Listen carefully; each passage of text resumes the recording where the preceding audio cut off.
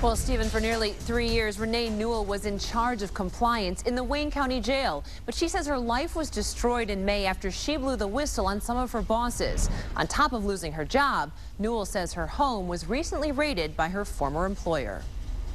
It was uh, seven or eight officers. They were bamming and kicking on the door. Renee Newell says a team of Wayne County Sheriff's deputies and Detroit police officers raided her home on July 26, terrifying her 28-year-old daughter who was home alone at the time. They rushed in here, you know, um, you know, rushed her into here and started telling her to get down, lay down, and you're going to jail. According to this search warrant, the deputies wanted Newell's computers, laptops, and hard drives. Newell Newell says she was fired from her job as director of jail compliance after she blew the whistle on some alleged wrongdoing among a few of the top executives in the Wayne County Sheriff's Department. Sheriff's officials confirm they searched Newell's home because they have probable cause to believe that she sent an email that accuses Wayne County Executive Chief Eric Smith of a crime he didn't commit. Did you send that email? No, I did not. What were they really looking for?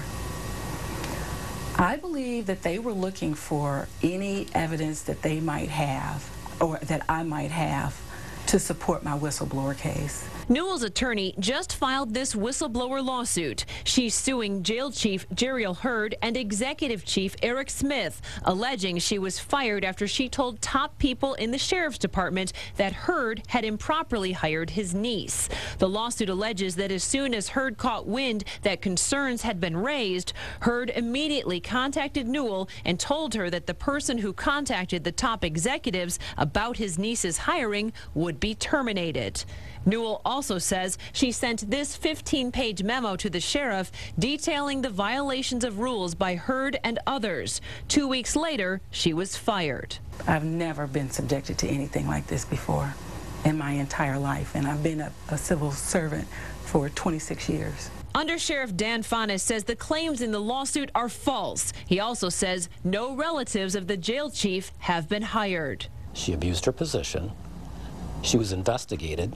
She lied during the investigation, and she was terminated for it. Under Sheriff Pfannes says Newell violated jail safety protocol while her brother was an inmate inside the jail more than a year ago. Newell says she followed the rules while her brother was locked up, and she says it never became a problem until after she started exposing Heard's rule violations. The undersheriff also defends the search of Newell's home. We believed that criminal conduct was occurring and that criminal evidence would be found in her home.